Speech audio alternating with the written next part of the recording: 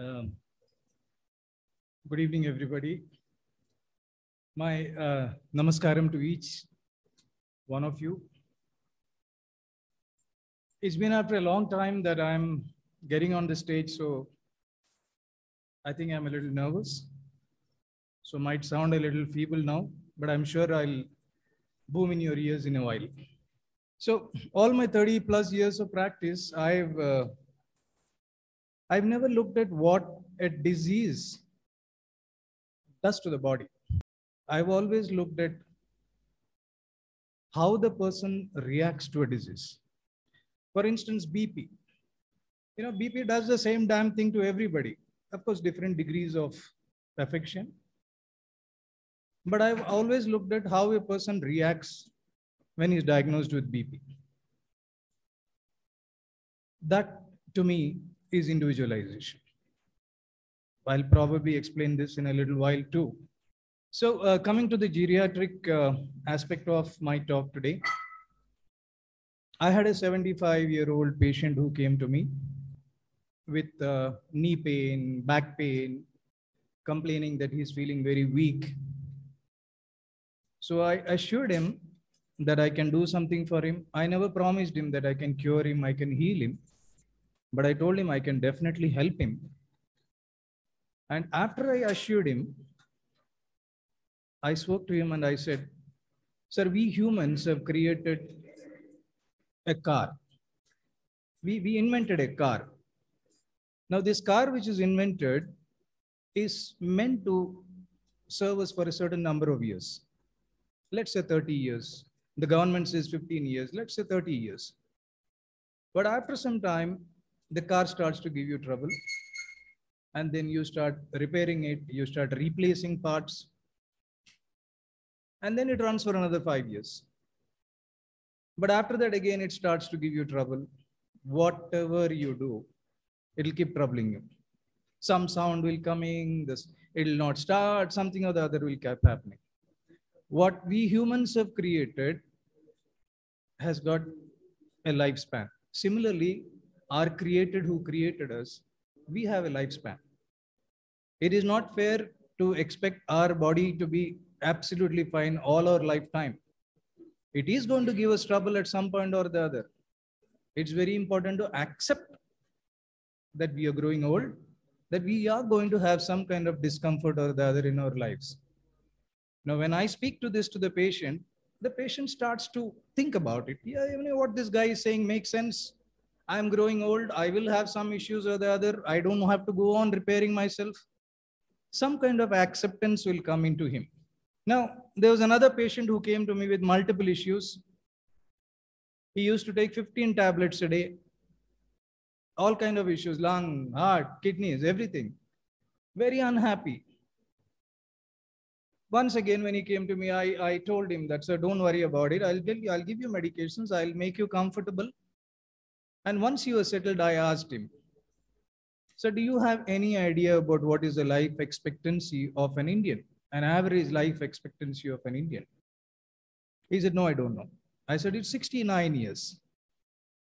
I said, You're 82. 80% of the people die at the age of 69. You're lucky to be alive at the age of 82. When you go to bed, and when you wake up in the morning, you're able to open your eyes and you're alive. Do you realize that lakhs of people who went into bed with you do not wake up? You're lucky to be alive at 82. Open your eyes, you're alive, smile. Thank you, God, that you're special. He's given you another day. So when you look at a perspective like this, you look at life in a different way it is not important to stay alive.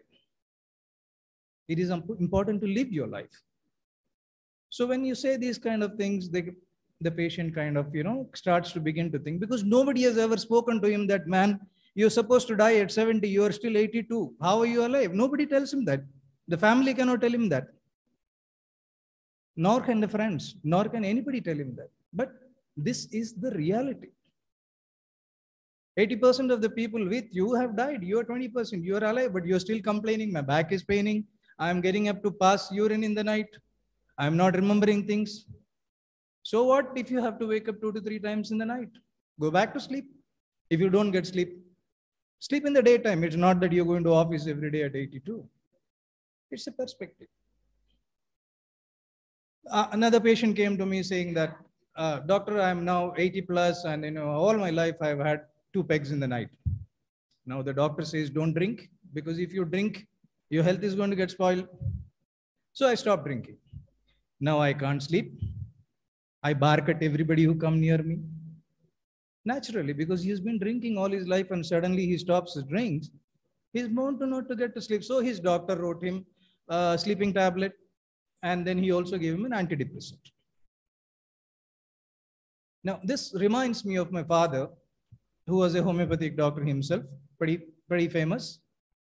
He used to have his drinks every night. And then at the end of his life, he was diagnosed with cancer and he was better bedridden. And uh, while he was better bedridden, he used to every night, you know, call one of them and said, get me a small. I was a fresh doctor then out of medical college, came home and I said, no, he cannot have a drink. It's against medical, this thing. His health will get spoiled. This poor man, who was a tiger all his life, was helplessly lying down in bed. And every night he used to ask, Give me a couple of drinks. But we never gave him. None of the family members gave because I am the doctor. When I said, How can they give? No. He continued to live another four to six months and he died. Now, the point I'm trying to make is what did I achieve by not giving him a couple of drinks in the night? Had I given him a couple of drinks, he would have slept peacefully. He would have not been so irritable. Did I prolong his life by not giving him anything? I tortured him. Not intentionally, but that's how we are. Now, there are all of you are doctors. So, what I want to tell you is there is a disclaimer to what I'm saying. I'm not saying anything out of a book. All I'm saying is out of my experience. Some of you might agree, some of you may not agree to it. But as doctors, there is a special power that is given to us. We need to identify the special power. The special power is normally when somebody talks to people, they dissect everything that you talk. Now, suppose I'm saying something, you you you try to dissect what I'm saying. Is he saying the right thing? Is he saying the wrong thing? Is it acceptable, not acceptable? And then if it seems okay for you, then you absorb what I'm saying. Everywhere, anybody you talk, they, you will always dissect what they're saying. Your intelligence is meant to do that. But when a doctor speaks, it is a command. The most powerful person, including Modi, if his doctor says, Modi ji, you should not do this, he will not question him. Yes or no? That is the power that a doctor has got. Now you ask yourself, are you using this power in your clinic to give a different perspective to the patient? Or are you just being a chemist? I repeat, are you using this power in your clinic?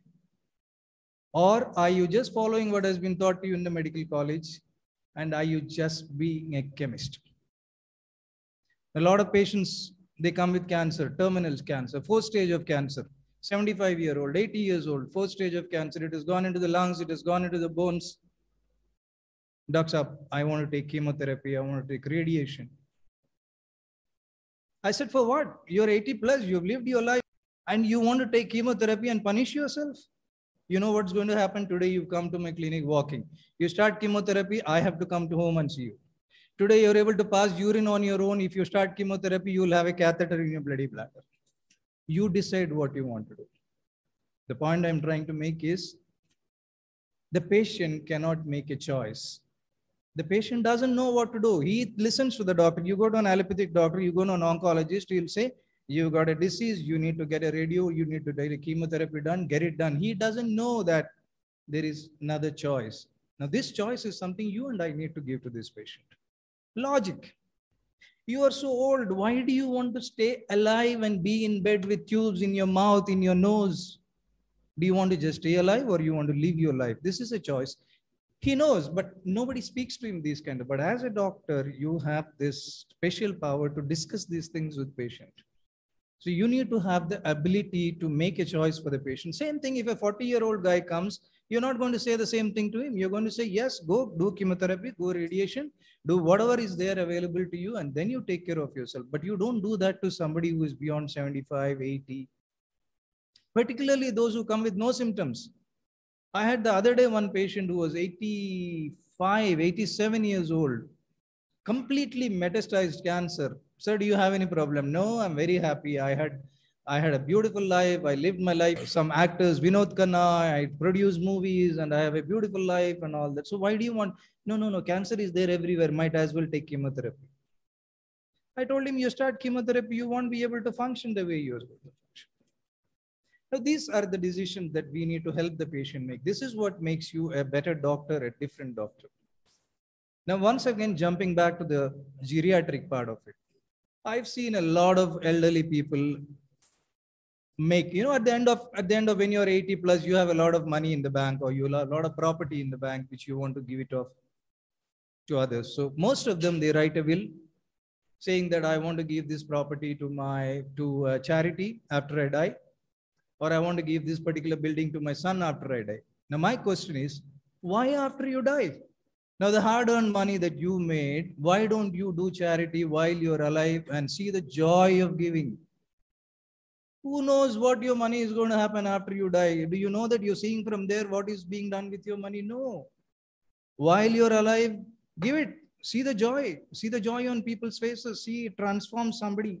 And then you also write a will. You give it to your children.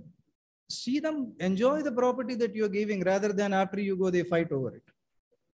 Give it to them while you're alive. Keep yourself, make yourself secure. That's very important. Make sure that children don't throw you out of the house. One last thing I'd like to say, all the, the people who are uh, geriatric, or you can actually convey this to a lot of your patients, is that once they are, once they cross a particular age, it makes to, you know, write down something. You put it in a piece of paper, what you want to do. Suppose tomorrow you are brain dead. You don't have the ability to think. What do you want to do? Suppose you're diagnosed with a terminal, a terminal disease. What do you want to do?